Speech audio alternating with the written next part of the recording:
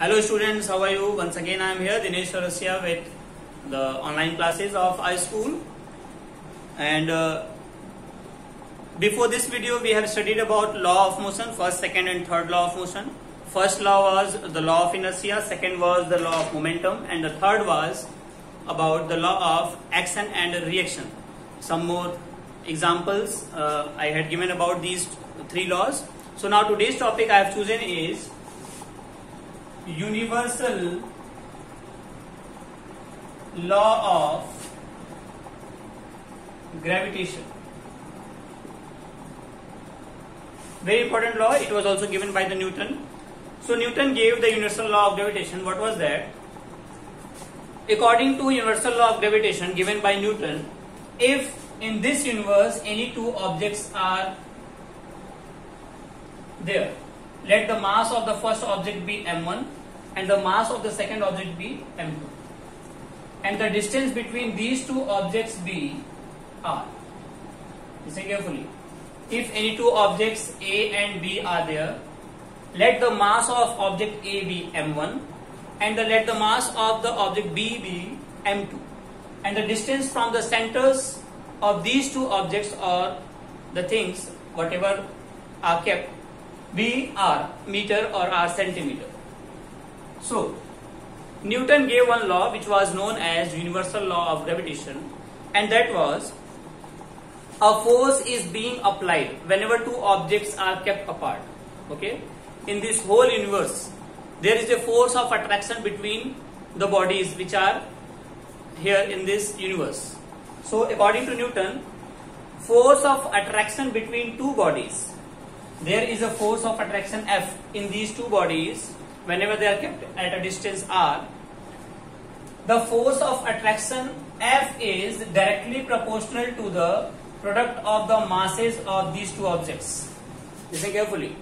The force of attraction between two bodies is directly proportional to the product of their masses and the same force of attraction is inversely proportional to the square of distance between them. Inversely proportional means what? 1 upon. So this is the first and this is the second equation. So the force of attraction between two bodies is directly proportional to the product of their masses and inversely proportional to the square of distance between them.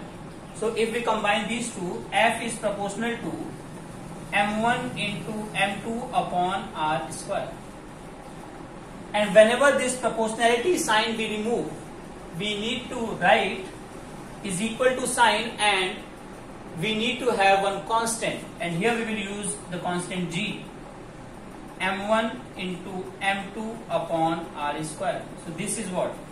Universal law of gravitation where g is what? G is called gravitational constant and the value of G is 6.67 into 10 to the power minus 11 Newton meter square per kg square. Listen carefully. So, universal law of gravitation is force of attraction between two bodies is directly proportional to the product of their masses and inversely proportional to the square of distance between them. You remember this, okay? So F is proportional to M1 into M2, F is proportional to 1 upon R square. If we combine these two, F is proportional to M1 into M2 upon R square. Whenever we remove the proportionality sign, we write is equal to sign. G will be the constant which is called gravitational constant and the value of G is fixed which is 6.67 into 10 to the power minus 11 Newton meter square per kg square. So this is what universal law of gravitation this comes every time in the examination, so please remember this. With the help of this, listen carefully. If we write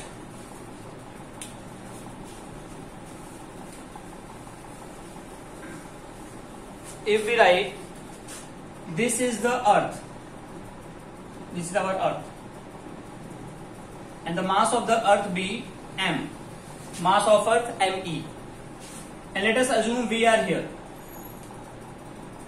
this is a human being you can write. Okay m. And the mass of this human being is m. We are just assuming. Because we are living on the surface of the earth. This is the mass of earth. And the distance of a person or the distance of us from the center of the circle or the earth is same as the radius of the earth. Whenever we measure the distance of the object, we measure the distance of the object from the center of the other object. Okay. So let the radius of the earth be RE. R means radius, E means earth. M means mass, E means earth. Mass of earth, radius of earth, this is mass of ours. Ours we can say a person is here. If we apply the same formula, universal law of gravitation for the same, I told you, according to universal law of gravitation, the force of attraction will be there. We all know earth attracts us with a force. F is directly proportional to the product of their masses. The mass masses are mass of earth and mass of ours. Ours means a person is there. Now F is proportional to directly proportional to the square of distance between them means radius of earth square because distance is RE. We combine these two. F is proportional to mass of earth into m upon RE square. And we all know whenever proportionality sign goes is equal to sign comes and one constant g we have to write mass of earth into m upon RE square. We all know the mass of earth, we all know the radius of the earth. If we put this, we will find what force of attraction is being applied by the earth on us. Okay, so we all know the value of G is what 6.67 into 10 to the power minus 11 Newton meter square per kg square. You all have one homework. You please find out the mass of earth from your books, radius of earth from uh, from your books. Keep the value of this, and uh, m you take 1 kg, 2 kg or whatever you want. Okay, 10 kg, 1 kg also you can take.